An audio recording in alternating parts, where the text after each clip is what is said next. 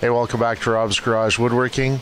Today we're just going to talk about uh, drive shaft noise on the CRV.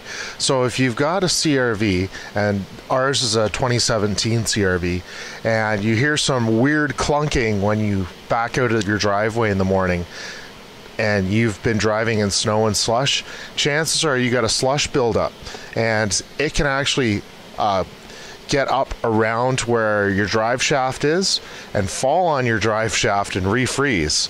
So here we brought the CRV into the workshop and you can see the piece of ice here and this was wrapped around the drive shaft and it was a great big chunk and I tried to break it off in the driveway but uh, uh, my wife took it out and I didn't get all of it off, and she says, "Oh, it's making a horrible noise." I said, "Bring it back in, and we'll uh, we'll switch cars."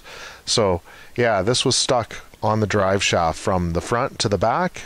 There's uh, an auxiliary shaft. I can't remember what they call it. It's got a funny name. Uh, the propeller shaft.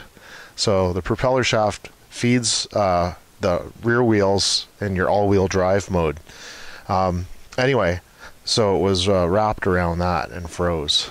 So, word to the wise.